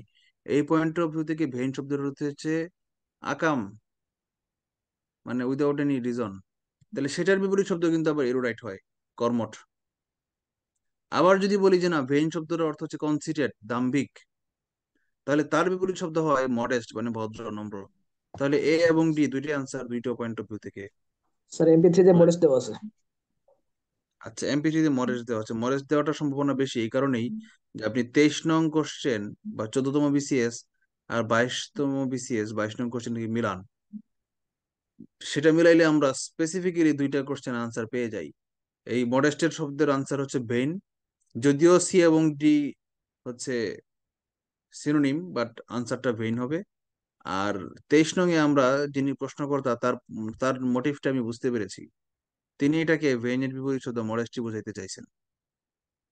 বুঝতে পারছেন? এগুলো আমরা স্কিপ করব। এগুলো কনফিউশন নিয়ে আমরা টাইম নষ্ট না করি। এগিয়ে যাই। অডিয়েন্স যেখানে বসে সেটাকে বলা হয় সিট পারফর্মার যেখানে বসে সেটাকে বলা হয় স্টেজ স্টেজ কি আছে অপশনে আছে। ঘ নাম্বার। যেখানে বসে যেখানে থাকে সেটাকে বোঝানো হচ্ছে। ব্যাংক ইজ টু ট্রানজেকশন ব্যাংকে যেটা করি আমরা বা যেটা পাওয়া যায় সেটা হচ্ছে ট্রানজেকশন হসপিটালে আমরা যেটা করি বা পাওয়া যায় সেটা হচ্ছে হসপিটালে ট্রিটমেন্ট পাওয়া যায়? হ্যাঁ। হসপিটালে পেশেন্ট পাওয়া যায় না? মেডিসিন পাওয়া যায় না? ওয়াটার পাওয়া যায় না? তাহলে treatment answer any question love is to cry বিপরীত শব্দ। তাহলে dash is to sad sad মানে দুঃখিত, দুঃখী। তাহলে আনন্দিত যেই শব্দটা অপশনে আছে। টিয়ার অর্থ চোখের জল না, সোমবার অর্থ পরে বলতেছি হ্যাপি অর্থ স্যাড হ্যাপি অর্থ আনন্দিত। তার মানে হ্যাপির বিপরীত হচ্ছে স্যাড এখানে কোনো ইয়েই নাই মানে কোনো বিকল্পই নাই। সোলেমনিটি অর্থ কি বলেন? পাস্ট ইজ টু ফিউচার বিপরীত শব্দ। তাহলে প্রিভিয়াস ইজ টু নেক্সট বিপরীত শব্দ। নেক্সট কি আছে অপশনে হ্যাঁ বি নাম্বার আনসার আচ্ছা romantic is to realistic romantic মানে হচ্ছে আবেগী মানে আবেগী না আবেগী তো ইমোশনাল রোমান্টিক এর বাংলা কি বলা যেতে পারে? প্রেমক নাকি? প্রেমিক। আর রিয়েলিস্টিক হচ্ছে বাস্তববাদী। তার মানে রোমান্টিক যারা, তারা বাস্তবতাকে একটু কমই মানে বুঝে। আবেগই বলা যায়। আবেগ কাজ করেছে, বিবেক কাজ করে নাই। যখন আবেগ কাজ করে তখন তাকে বলা হয় রোমান্টিক আর যখন বিবেক কাজ করে তখন তাকে বলে রিয়েলিস্টিক তার মানে এখানে বিপরীত শব্দ আর কোনো ভাবার কিছু নাই। ফ্যান্সিফুল অর্থ কি? কাল্পনিক। ফ্যান্সি অর্থ কি? বা মোহাচ্ছন্ন এরকম। হ্যাঁ ফ্যান্সি হচ্ছে ফেয়ারি টেল বা মানে ফ্যান্সিফুল মানে হচ্ছে স্বপ্নময় কাল্পনিক আজগুবি। এর বিপরীতটা হচ্ছে বাস্তব। তাহলে বাস্তব অপশন অপশনে বাস্তবের ইংলিশ কোনটা আছে দেখি। ইমাজিনারি না ইমাজিনারি আর ফেন্সিবল হচ্ছে সিনোনিম হয়ে গেল, আমার অ্যান্টোনিম খুঁজতে হবে। প্রপার অর্থ যথাযথ আচ্ছা দেখি পরে কি আছে অ্যাকচুয়াল অর্থ হচ্ছে বাস্তবিক অ্যাকচুয়ালটাই আনসার আনইউজুয়াল অর্থ অস্বাভাবিক বা অনিয়মিত, এটা না। অ্যাকচুয়ালটাই আনসার ফেন্সিফুল হচ্ছে কাল্পনিক আর তার বিপরীত হচ্ছে বাস্তব, সেটা হচ্ছে অ্যাকচুয়াল আর কোনো কনফিউশন নাই এখানে। ফিউ টু মেনি বিপরীত শব্দ। তাহলে অকেশনালির বিপরীত শব্দ কি? অকেশনালি মানে মাঝে মাঝে। ওই মিয়া, তুমি কি সিগারেট খাও? না অকেশনালি খায় আর কি। কারণ বড় ভাই যদি ছোট ভাই হঠাৎ করে জিজ্ঞেস করে বলে, ছোট ভাই লজ্জা পাওয়া যায়। ধরেন বিয়ে খাইতে গেছেন, পরিচয় হয়েছে একজন বড় ভাইয়ের সাথে, বয়সটা একটু বেশি। রাস্তায় হাঁটতে বেরিয়েছেন খাওয়ার পর একটু বসে রয়েছেন চেয়ারে আর উনি সিগারেট ধরাইবেন আর আপনি পাশে বসে আছেন। আর একজন মানুষ পাশে বসে থাকলে নতুন পরিচয় হয়েছে আজকে। এখন কি তার সামনে সিগারেট খাওয়া যায়? একটু আনিজি লাগে না? কারণ ইজি ইজি হওয়া যাইতো যদি দুজন মিলে সিগারেট খাওয়া খাওয়া যাইতো বুঝতে পারছেন? তখন সিনিয়র যে বিড়ি ধরাবে, তখন পাশের লোকটা বলতেছে মিয়া, তুমি কি সিগারেট খাও? তখন সেও সিগারেট খায় বাট সেও আনইজি ফিল করতেছে, এত বড় সিনিয়র ভাই, তারা কেমনি কই হ ভাই বিড়ি খাই দেন? সে বলতেছে খাই না মানে বন্ধু বান্ধবী পাল্লায় পড়লে অকেশনালি খাই আর কি আচ্ছা জোকস হয়ে গেল শিখা হয়ে গেল, তাই না? তাহলে এখন অকেশনালির বিপরীত শব্দ হচ্ছে রেগুলারলি আছে কিনা অপশনে সেলডম মানে কদাচিৎ না বিপরীত হইল না। সেলডম আর অকেশনালি সিনোনিম হয়ে গেল। নেভার হইল না। এভরি এভরি মানে প্রত্যেক। এভরি অফেন অফেন মানে প্রায়ই তাহলে অফেনটা বিপরীত। এভরি টাইম যদি থাকতো তাইলে আমরা এটাকে আনসার নিতে পারতাম এভরি টাইম থাকলে। বাট অকেশনালির বিপরীত শব্দ এভরি না। অকেশনালির বিপরীত শব্দ হচ্ছে অফেন মানে প্রায়ই। ওকে জায়ান্ট মানে বিশাল ডর্ফ মানে বামন মানে বাইটটা মানে ছোট বিপরীত শব্দ। ওশান মানে বিরাট বিশাল কিছু পানির আধার। তাহলে ছোট্ট পানির আধার হবে আনসার। পন্ড হইতে পারে লেক হইতে পারে সি হইতে পারে রিভার হইতে পারে। ওই তো মহাসাগর মানে বিশাল পানির আধার বোঝাচ্ছে। তাহলে সবচেয়ে ছোট পানির আধার যেটা এই চারটার মধ্যে সেটাই আনসার। সবচেয়ে ছোট কোনটা চারটার মধ্যে? Pond. পন্ডই answer. Little is to big বিপরীত। তাহলে ইজি ইজ টু সিম্পল না বিপরীত হইল না। Quiet is to serene serene অর্থ মৃদু বাতাস, শান্ত, বিপরীত হইল না। গুড ইজ টু বেটার বিপরীত হইল না। টাইনি ইজ টু হিউজ বিপরীত এক্স্যাক্টলি বিপরীত। টাইনি অর্থ হচ্ছে ক্ষুদ্র আর হিউজ অর্থ হচ্ছে বিশাল। এটা আনসার কার কোনো কোশ্চেন একত্রিশ নাম্বারটা নিয়ে? আচ্ছা annual is to perennial perennial biennial এগুলো নাম শুনেছেন আপনারা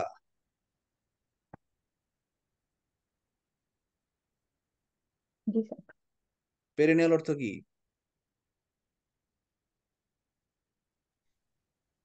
বহু বর্ষ।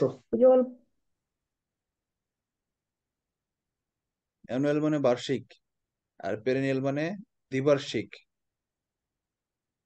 আর ডেসিডুয়াস মানে পত্র ঝরা মানে একবারই গাছের পত্র ঝরে পড়ে যায় যে সব গাছের সেগুলোকে পত্র ঝরা উদ্ভিদ বলা হয়। তো পত্র ঝরার বিপরীত কি? এভারগ্রিন চিরসবুজ বনাঞ্চল বাংলাদেশের চিরহরিত বনাঞ্চল আমরা পড়েছি না বাংলাদেশের বনাঞ্চল চ্যাপ্টারে আচ্ছা এই ফ্লোরিফেরাস অর্থ কি? এটা আমার একটু জানা দরকার। কেউ একজন গুগলে সার্চ দিন তো আমি ভুলে গেছি। অনেক ফুল উৎপাদন হয় ফ্লোরা। ও আচ্ছা ফ্লোরা থেকে আসছে। ফ্লোরা শব্দের অর্থ ফ্লাওয়ার ফ্লাওয়ার মানে ফুল পুষ্প। আর ফ্লোরিফেরাস মানে অর্থ হচ্ছে মানে পুষ্প পুষ্প আবৃত পুষ্প পুষ্প শোভিত শোভিত। পুষ্পমণ্ডল। হ্যাঁ তাহলে এটা পুষ্প জীববিজ্ঞান বইতে ছিল ফ্লোরিয়াস তাই না? ফ্লোরা এবং ফনা। আমরা পড়েছিলাম ফ্লোরা এবং ফনা। একটা এলাকার সকল উদ্ভিদের কালেকশনকে ফ্লোরা বলা হয় আর একটি এলাকার সকল প্রাণীর কালেকশনকে ফনা বলা হয়। তো এখন ডেসিডুয়াস শব্দের অর্থ পত্র ঝরা। আর ফ্লোরিফেরাস মানে হচ্ছে ফুলে শোভিত। না ফুলের সাথে পাতা সম্পর্ক নাই। ডেসিডুয়াসের সাথে সম্পর্ক পাতার সাথে সম্পর্ক হচ্ছে এভারগ্রিন তার মানে ডেসিডুয়াসের বিপরীত শব্দ এভারগ্রিনই হবে। এর চেয়ে বেটার অন্য কোনো গুলা নাই। ব্রেকফাস্ট ইজ টু ফার্স্ট মানে ব্রেকফাস্টটা কেমন ধরনের নাস্তা? দিনের প্রথম নাস্তা। ঠিক একই রকম সাপারটা হচ্ছে দিনের লাস্ট নাস্তা। লাস্ট আছে নাকি আনসারে নুন নাইট মিল লাস্ট কেউ একজন মনে করতে পারে যে হ্যাঁ সাপার তো মানুষ নাইটে খায় তাহলে নাইটই আনসার নো সাপার কোন সময় খায় সেটা জানতে চায় নাই। সাপার কি সবার শুরুতে খায় না মধ্যে খায় না শেষে খায় সেটা জানতে চাইছে। ব্রাইট ইস টু ডাল বিপরীত শব্দ। ফ্রেশ ইস টু হোয়াট ফ্রেশের বিপরীত সজীবের সজীবের বিপরীত হচ্ছে নির্জীব। নির্জীব ইংরেজি কি? ড্রাই অর্থ নির্জীব না। রাফ অর্থ নির্জীব না। রাফ অর্থ রুক্ষ। ওয়েট অর্থ নির্জীব না। ওয়েট অর্থ ভিজা স্টেল অর্থ কি? পচন। দেখি তো গুগলে স্টেল অর্থ কি বলে। বাসি। বাসি খাবার পচা খাবার নাকি? Food no longer fresh and pleasant to eat এটাকে বলা হয় স্টেল বাসি খাবার। আচ্ছা row is to boat boat অর্থ হচ্ছে নৌকা রো অর্থ আর এ ডব্লিউ র অর্থ কাঁচামাল। আর রো অর্থ দুইটা রো অর্থ শাড়ি আর একটা হচ্ছে রো অর্থ বৈঠা। মানে যেটা চালায় বৈঠা সেটা নৌকা যেটা চালায়। একই রকম drive is to what drive is to city না। ড্রাইভ ইজ টু হাইওয়ে না। Drive is to road road রোডের মধ্য দিয়ে চালায় না এটাও লজিক্যাল হয় না। Engine drive is to engine হ্যাঁ ইঞ্জিন রাইট আচ্ছা গাড়ি তো নাই এখানে ইঞ্জিন এলো কই থেকে ড্রাইভ বলছে রোড অর্থ কি বৈঠা নাকি মাঝি? দেখেন তো রো এর সঠিক উত্তরটা কি বৈঠা নাকি মাঝি? বইটা বইটা স্যার। তো রো দা অর্থ যদি বৈঠা হয়ে থাকে বৈঠা দিয়ে চালায় দাগ দা তো মাধ্যম বোঝাচ্ছে বৈঠা। হয়তো। দাঁড় বা বৈঠা ইঞ্জিন দিয়ে তো যেটা দিয়ে ড্রাইভ করে। ইঞ্জিন যদি থাকতো অপশনে তাইলে ড্রাইভ হইতো। কিন্তু ইঞ্জিন তো নাই। মানে ইঞ্জিন ইঞ্জিন আছে যদি না ইঞ্জিন যদি কোশ্চেনে থাকতো অপশনে যদি ড্রাইভ থাকতো তাইলে সেটা আমরা অপশনে ড্রাইভ দিতে পারতাম। রিলেশনটা মিলতো। কিন্তু এখন তো রিলেশন উল্টা হয়ে গেল ড্রাইভ টু ইঞ্জিন দেওয়াতে। তাহলে তো এটার অপশনটা কোনোটাই লজিক্যাল মনে হচ্ছে না। রোড আর হাইওয়ে কাছাকাছি হয় না? হ্যাঁ দুইটাই রোড হ্যাঁ রোড রোড হলে হাইওয়ে কেন হবে না? তাহলে রাইট এই দুইটা বাদ। হ্যাঁ তাহলে মানে ইঞ্জিনই হচ্ছে। প্রোপেল স্যার তাহলে ইঞ্জিনই হবে। মানে প্রোপেল সিটি তো হবে না। সিটি সিটি মানে হচ্ছে ওটা তো বাদ। যেখানে চালায় গাড়ি। তাহলে এটা হইল না। সেদিক থেকে চিন্তা করলে হাইওয়ে রোড ইঞ্জিনটা একসাথে ইঞ্জিন হয়। ইঞ্জিনটা হয় আনসার মানে একদিক থেকে চিন্তা করলে। ইঞ্জিন যেহেতু গাড়ি চালায়। এখানে বোঝাতে চাইছে যে ড্রাইভ শব্দটা দেওয়াতে ইয়ে হয়ে গেল। ড্রাইভ তো বোটও ড্রাইভ করা হয়। না কিন্তু ড্রাইভ শব্দ বলতে এখানে গাড়ি স্পেসিফিক্যালি বোঝানো হচ্ছে। আর রো অর্থ প্রপেলার রাইট রো প্রপেলার একই মানে প্রপেলারও গাড়ি চালায়। ইঞ্জিন পিছনে যেটা ঘুরে, পাখনা, এটাকে প্রপেলার বলা হয়। দাঁড়, পাখনা, বইটা সবই সঠিক। আচ্ছা। অ্যাটোন এর এক্সপিয়েট অর্থ কি?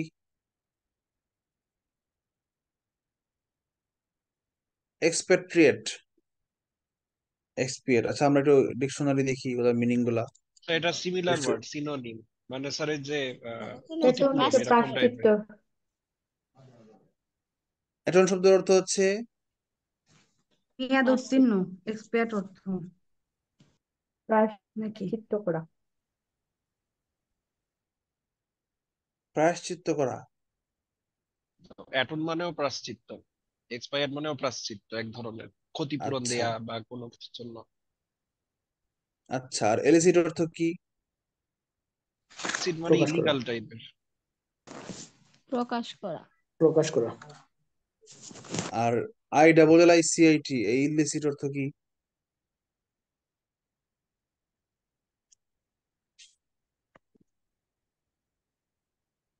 নিষিদ্ধ। অবৈধ। নিষিদ্ধ।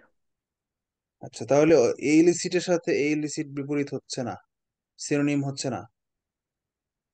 এই ইলিসিট হচ্ছে ইলিসিট এই ইলিসিট মানে স্যার বার করে নেয়া। হ্যাঁ এই আর এই ইলিসিট মানে যেটা দেওয়া আছে সেটা হচ্ছে অবৈধ। না অপশনে যেটা দেওয়া আছে সেটা অবৈধ বাট কোশ্চেনে যেটা দেওয়া আছে সেটা কি? বার করে প্রকাশ করা। না প্রকাশ করা না।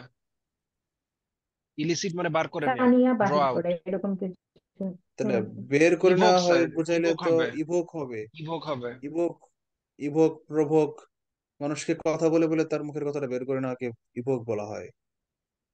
আর প্রভোক শব্দের অর্থ হচ্ছে উস্কানি দেওয়া। ইভোক আচ্ছা তাহলে ভোকাবুলারি লাগবে এটার জন্য এই সাইটের জন্য হ্যাঁ এই চ্যাপ্টারগুলো লাগবে। পড়তে হলে ভোকাবুলারি লাগবে কিছু করার নাই। ইভোক শব্দের অর্থ হচ্ছে কি বলে? উদ্দীপক। মানে ইভোক শব্দের অর্থ হচ্ছে উম বাংলা শব্দটা মনে করতে পারছি না। প্রভোগ শব্দটা মনে করতে পেরেছি উস্কানি দেওয়া। হ্যাঁ? স্যার ইভোক স্যার আর ইভোক স্যার ইলিসিট ইভ্যাকুয়েশন থেকে না স্যার না না না ইভ্যাকুয়েশন মানে খালি করা। ইভ্যাকুয়েশন মানে হচ্ছে এলাকা খালি করে দেওয়া। ইভোক মানে তো ফিরে যাওয়া বা মানে উদ্দীপক পিছু হটা এরকম টাইপের আচ্ছা কেউ একজন বলছিলেন সিটে কি লিখেছিলাম বলেন তো? স্যার প্রকাশ করা লেখা ইভোক আর ইলিসিট জাগিয়ে তোলা। প্রকাশ করা লেখা আর কি। তাহলে দুইটা একই ঠিক আছে হোয়াটএভার আপনি প্রকাশ করা অর্থেই বলেন আর বের করা অর্থেই মানে ডাটা খুঁজে বের করা অর্থেই বলেন দুইটাই একই দাঁড়ায়। ইলিসিট যদি বলা হয় নিজে সরাসরি প্রকাশ করা আর একটা হতে পারে যে, না, কাউকে খুঁচিয়ে খুঁচিয়ে কথা বলে বলে তার মধ্যে থেকে ডাটা বের করে আনা দুইটাই হতে পারে। হোয়াটএভার ইভোক আনসার কোনো কনফিউশন নাই। Battle is to duel battle মানে হচ্ছে যুদ্ধ। ডুয়েল মানে হচ্ছে দুইজনের যুদ্ধ। তো বহু ইস টু দুই, এটা হচ্ছে অপশন তাহলে কোরাস ইস টু দুই। কোরাস মানে হচ্ছে সমবেত সংগীত। বাংলাদেশের সমবেত সঙ্গীতের জনক বলে ডিএল রায় জন রাইডেন হচ্ছে ইংলিশ কোরাসের জনক। তো ডিএল রায় মানে হচ্ছে কি যেন? দ্বিজেন্দ্রলাল রায়। দ্বিজেন্দ্রলাল রায়। ধনধান্য পুষ্পে ভরা আমাদের এই বসুন্ধরা। তো কোরাসের সঙ্গে দুইজনে যে গায় গান গায় সেটাকে কি বলা হয়? Duet song B number answer breeze is to gust breeze মানে হচ্ছে বাতাস মৃদু বাতাস। গাস্ট মানে হচ্ছে ঝড় বাতাস। তাহলে হুইসপার অর্থ কানে কানে বলা। তাহলে এর বিপরীত হবে জোরে বলা। জোরে বলা আনসার কি আছে?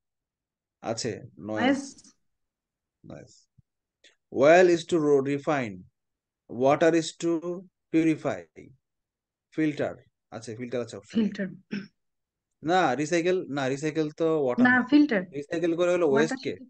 ওয়াটার না থেকে যদি ওয়েস্ট থাকতো তাহলে আনসার হইতো তাহলে রিসাইকেল হচ্ছে রিসাইকেল হতো। হুম। স্ট্যামারিং মানে তোদলানো। স্ট্যামারিং এর সাথে স্টিচের যে সম্পর্ক মানে স্পিচ বলার সময় স্ট্যামারিংটা হয়। তাহলে ডিফনেস ডিফ অর্থ বধির মানে কানে শোনে না নাকি? হ্যাঁ বুঝি কানে শুনে না। তাহলে কানে শুনে না সমস্যাটা কোন কাজের সময় হয়? হিয়ারিং এর সময় হয় না সমস্যাটা? স্পিচের ডিফেক্ট কে বলে স্টেমারিং তাহলে হিয়ারিং এর ডিফেক্ট কে বলে ডিফনেস ঠিক আছে না? শেষ। আচ্ছা এগারোটা বেজে গেছে। আমাদের পরের চ্যাপ্টারটা পড়তে হবে। এনামল পরের সেটা দাও তো।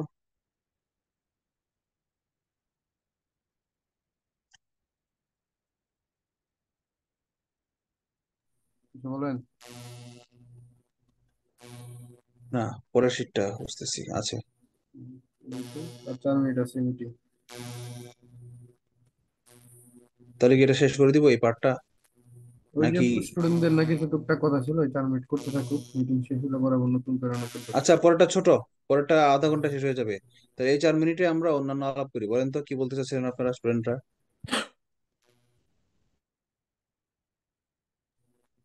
রেকর্ড অফ করে দিব। আপাতত রেকর্ড অফ করে দাও তিন মিনিটের জন্য। সম্পর্কে বলি যে সংস্থার আন্তর্জাতিক সংস্থার যে ইয়ে আছে সদর দপ্তর কোথায়? কত সালে প্রতিষ্ঠিত হয়েছে? বর্তমান প্রধানের নাম কি?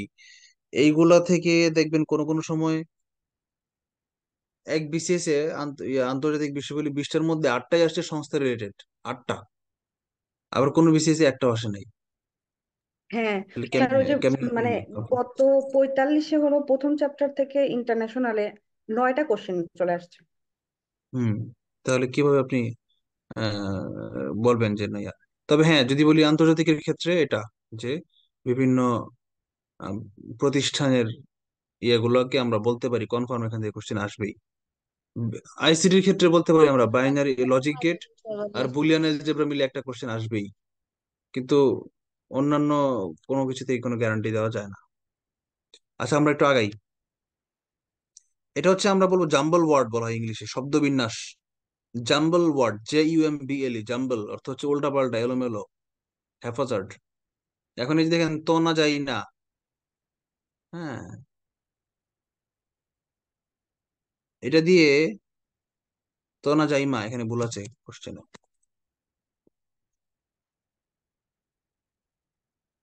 এটা হবে তনা জাইমা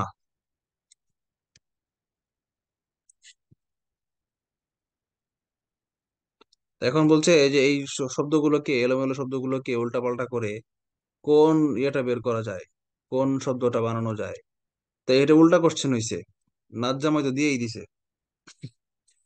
অপশনে এটা, এটার জন্য কি পারা লাগে বলেন? এখানে নাচ জামাই ছাড়া বাকি সবগুলো অপশনই তো কোনো অ্যাবনর্মাল ওয়ার্ডই হয় না। তাহলে এটা যে নাচ জামাই হবে, এটা কি মানে এটা বোঝার জন্য কি কোনো আইকিউ দরকার আছে? এর কোনো অপশন হইল স্যার এটা ন- আপনার এই দিছে কোশ্চেনটা অনেকটা এরকম হয়েছে আর কি যে ডান হাত ছাড়া আপনার আর কোন হাত আছে বডিতে? এইরকম কোশ্চেন হয়েছে। যদি হইতো যে আমরা কোন হাত দিয়ে ভাত খাই এটা এটা এটা একটা কোশ্চেন লজিক্যাল কোশ্চেন হইতো। যদি বলে দেয় ডান হাত ছাড়া আপনার বডিতে আর কোন হাত আছে এরকম কোশ্চেন হয়েছে আর কি। আচ্ছা নিম্নের এলো- এলোমেলো অক্ষরগুলো দিয়ে গঠিত অর্থপূর্ণ শব্দের শেষ অক্ষর কোনটা হবে? হ্যাঁ এটা একটা সুন্দর কোশ্চেন এই সবগুলো দিয়ে কি ওয়ার্ড বের করা যায় বলেন তো? উপনিবেশ। উপনিবেশ। তাহলে শেষ অক্ষর তালব্য শ গ নাম্বার আনসার ফাইন নিচের কোনগুলোকে সাজালে মানব দেহের একটা অঙ্গ হয়। আটত্রিশতম বিসিএস রিটেন কিন্তু রিটেন আসছে। নোস্প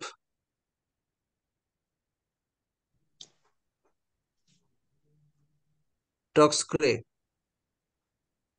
হবে স্যার কর্টেক্স কর্টেক্স আর মেডুলা অবলাঙ্গাটা মস্তিষ্কের অংশ তাই না? ডাক্তার ম্যাডামরা কোথায়? অনন্যাপু তারপর মানসী আপু।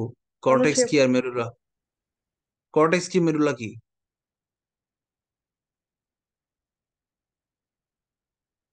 ভুলে গেছেন।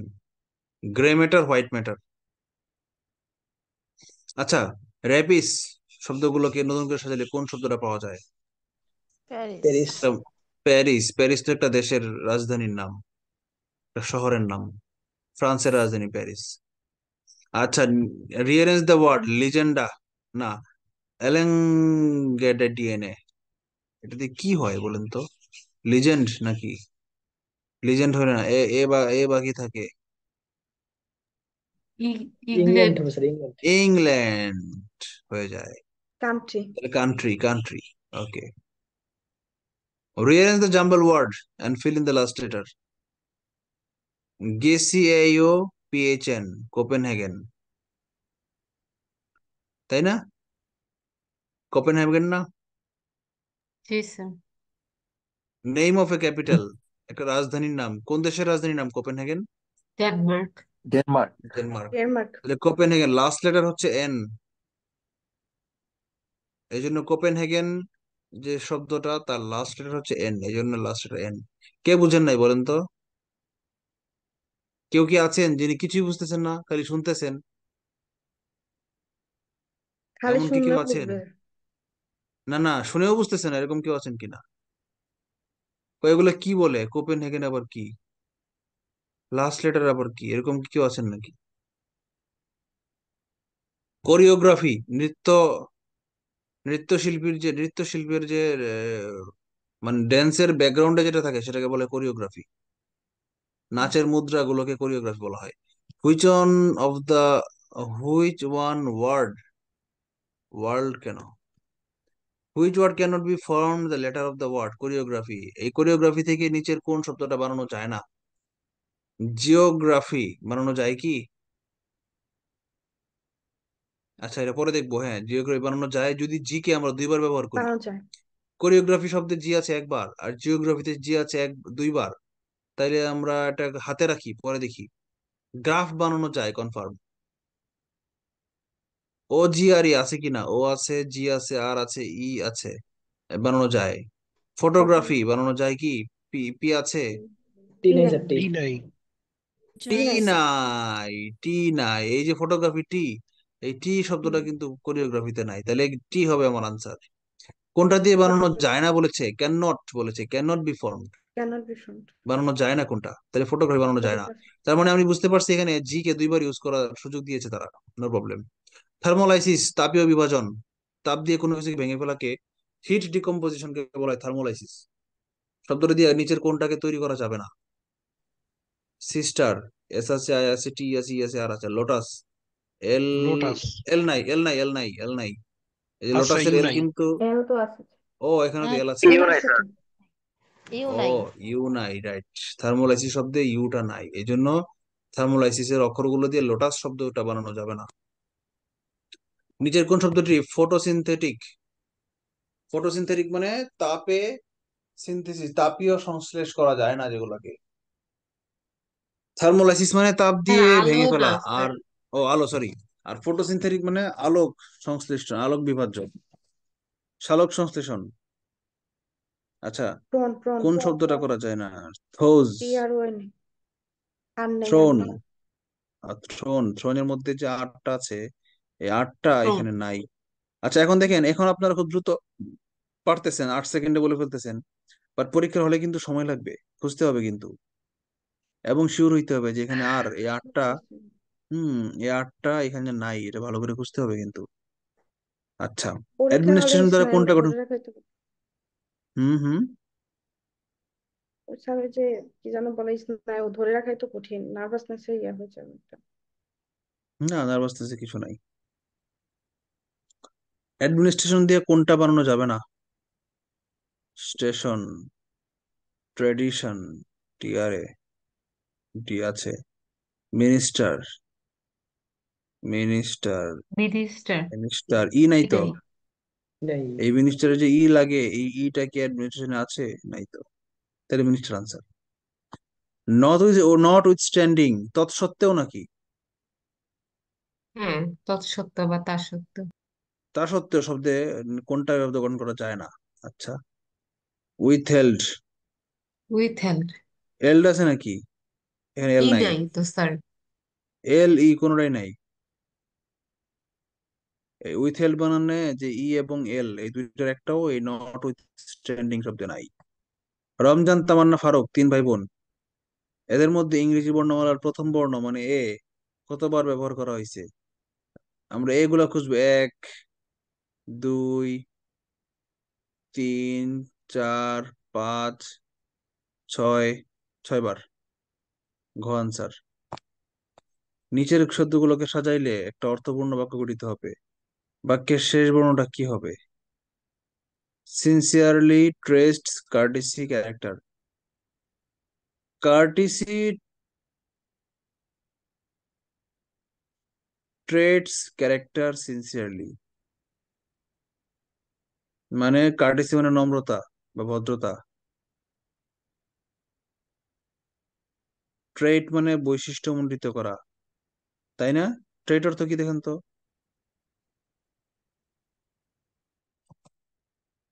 পরিচায়িত ট্রেড করা তো স্যার আচার আচরণ।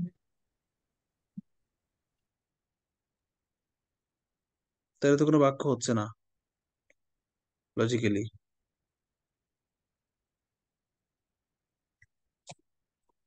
স্যার সিনসিয়ারলিটা তো স্যার প্রথমে ব্যবহার করা যায়।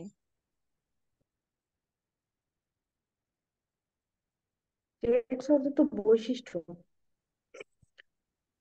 হ্যাঁ এটারও তো বৈশিষ্ট্য। সিনসিয়ারলি হ্যাঁ মানে উম, এরকম তার চরিত্র ইয়া হচ্ছে সিনসিয়ারলি হ্যাঁ মানে সে কার্টেসি প্রকৃতির ট্রেডস সিনসিয়ারলি ক্যারেক্টার হবে স্যার সিনসিয়ারলি ক্যারেক্টার হবে না। কার- কার্টসি ট্রেটস ক্যারেক্টার সিনসিয়ারলি সিনসিয়ারলিটা হয় সবার লাস্টে হবে। আর নয় স্যার ভার্বের আগে হবে। এখানে ভার্বটা খুঁজে ফেললেই স্যার প্রবলেম সলভ হয়ে যায়। এখন এখানে ট্রেস আমার মনে ছাড়া তো আর কোনো ভার্ব দেখা যাচ্ছে না। এই কারণ ট্রেটস তো ভার্বের ভার্ব পরে না। হবে অ্যাডভার্ব আচ্ছা ভার্ব ট্রেটস কেন ট্রেট স্যার মানে নর্মালি এটা ভার্ব না। বৈশিষ্ট্যায়ন যদি বলি আমরা বৈশিষ্ট্যায়িত করা। হ্যাঁ বৈশিষ্ট্যায়িত করা। অর্থে ট্রেডটাকে ভার্ব বানানো যায়। বৈশিষ্ট্যায়িত করে। কার্টিসি ট্রেডস ক্যারেক্টার মানে হচ্ছে ভদ্রতা হ্যাঁ কার্টেসি বৈশিষ্ট্যতাই করে ট্রেস চরিত্রকে ক্যারেক্টার সিনসিয়ারলি আমি আমি আমি একটু ওটা সিনসিয়ারলি লিখি হ্যাঁ। ওয়াই হবে লাস্টে আমি একটু সেন্টেন্সটা বানাই দেখেন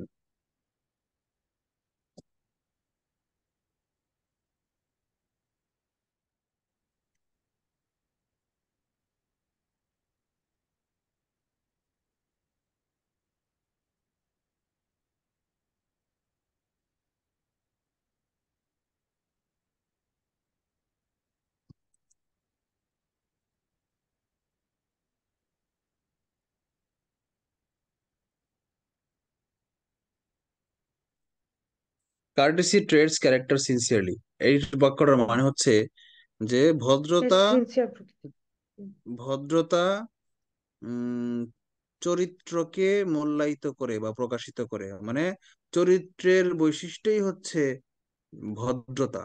যা যে ভদ্র তার চরিত্র ভালো। যার যে অভদ্র তার ক্যারেক্টার খারাপ। তাহলে কার্টেসি ট্রেডস ক্যারেক্টার এটা হচ্ছে মূল বাক্য আমার। এখন যে অ্যাডভার্ব যে সিনসিয়ারলি এটাকে আমি কোথায় বসাবো? তার উপর ডিপেন্ড করে আমার আনসারটা এখন আমি যদি সিনসিয়ারলিটা ভার্বের আগে বসাই অ্যাডভার্ব কিন্তু ভার্বের আগে বসানো যায় আবার বাক্যের শেষেও বসানো যায়। যদি আমি বলতাম কার্টেসি সিনসিয়ারলি ট্রেডস ক্যারেক্টার এই বাক্যটা বেশি সুন্দর? নাকি কার্টেসি ট্রেডস ক্যারেক্টার সিনসিয়ারলি এটা বেশি সুন্দর। লাস্টে সিনসিয়ারলি বেশি সুন্দর। লাস্টের বেশি সুন্দর না? You slowly go R you go slowly go slowly slowly go কোনটা সুন্দর? হ্যাঁ। স্যার অ্যাডভার্ব অফ ম্যানার সাধারণত এন্ড অফ দ্য ক্লজে ব্যবহৃত হয়। অ্যাডভার্ব মানে ইউজ করা হচ্ছে ওইটা বেশি স্মার্ট না স্যার মানে এটার রুলস আছে অ্যাডভার্ব অফ ম্যানার হুম। হ্যাঁ অ্যাডভার্ব অফ ম্যানারটাকে সবসময় ক্লজের শেষে ব্যবহার করা হয়। এই লজিকে সিনসিয়ারিটা লাস্টে ব্যবহার করাটাই যৌক্তিক। এই জন্য আমাদের আনসারটা হচ্ছে ওয়াই ওয়াই শেষ বর্ণ বাক্যের শেষ শব্দের শেষ বর্ণ বলছে। তো লাস্টে আমাদের আছে হচ্ছে ওয়াই এই জন্য ওয়াই আনসার আচ্ছা বাংলাদেশ মালদ্বীপ ইন্ডিয়া শ্রীলঙ্কা পাকিস্তান নেপাল এগুলা কি কি হবে? ডট ডট প্রথম বর্ণগুলো দিয়ে বোঝাতে যাচ্ছে B M I S P N প্রথম বর্ণগুলো দিয়ে বি পরে এম পরে আই পরে এস পরে পি পরে এন তো B M I S P N লেখা আছে তো এত সহজ। এই এগুলো এত সহজ জিনিস রিটেনে আসছে বু- বুঝলাম না বিষয়টা। এটাই স্যার খালি সাজানো ছোটদের মতো। সেটাই। তাড়াতাড়ি ভাত খেয়ে নেই যেতে হবে। Give the serial order in which the following word will come in the dictionary মানে ডিকশনারিতে কোনটা আগে আসবে? আচ্ছা সবগুলাতে বি আছে পরে ই আছে পরে এ আছে। আচ্ছা দেখেন বি সবগুলাতে বি আছে বি ভুলে গেলাম। বির পর একটা স্পেস দিয়ে দেই।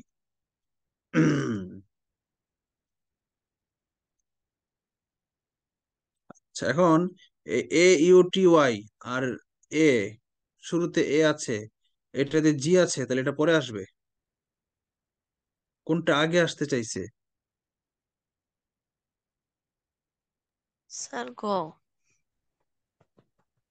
তাইলে আমরা ঘ বাদ দিলাম তাহলে কলম ইউজ করি।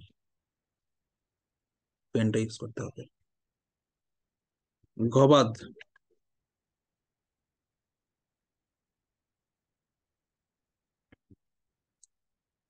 কি ব্যাপার?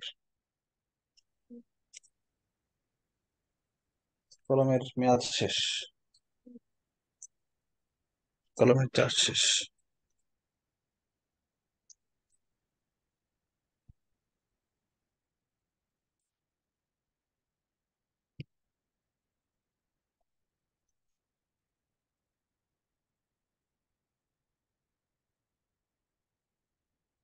আচ্ছা। তারপর এ you R A U A টি টি এবং ইউর মধ্যে কোনটা আগে? এস টি ইউ টি টি আগে। তো টি আগে তাহলে তো এই গ নাম্বারটা আগে আসবে না? হ্যাঁ। তাহলে গ নাম্বারই আনসার নাকি? জি। জি স্যার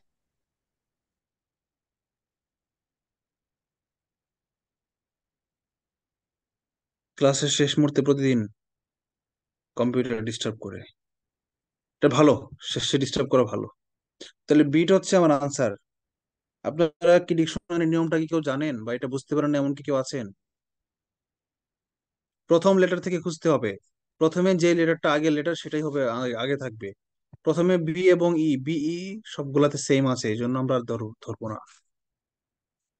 পরে তিন নাম্বার অক্ষরটা হচ্ছে এ এখানে এ আগে আছে এই জন্য ক খ গ তিনটাই সেম ঘ নম্বরে আছে জি জি কিন্তু এ এর পরে তাহলে এই জন্য ঘ আমি আগে বাদ দিয়ে দিছি। এরপরে চার নম্বর লেটারে দেখেন ক নম্বরে আছে ইউ খ নম্বরে আছে ইউ দুই নম্বরে সেম আর গ নাম্বারে আছে এ এ হচ্ছে ইউর আগে এই জন্য গ নাম্বারটা আগে চলে আসবে এই জন্য আনসার হচ্ছে গ। এখন বুঝতে পারছেন কিনা কেউ? আচ্ছা। তাহলে আমাদের অধ্যায় শেষ। এখন বলেন আমাদের এই কোশ্চেন নিয়ে কথা বলেন।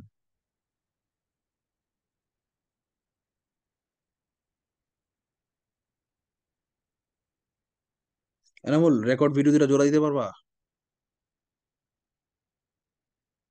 ভাই ক্লাস কি শেষ? হ্যাঁ ক্লাস শেষ। রেকর্ড ভিডিও গুলো? জোড়া দিতে পারবা? হ্যাঁ হ্যাঁ। হ্যাঁ? হ্যাঁ পারব আচ্ছা। জোড়া দেওয়া তার কষ্টের কাজ না তার ভাই এডিটিং না এডিট করার কিছু নাই জাস্ট জোড়া দিয়ে দিবা। ওকে ঠিক আছে। রেকর্ড করে দিই।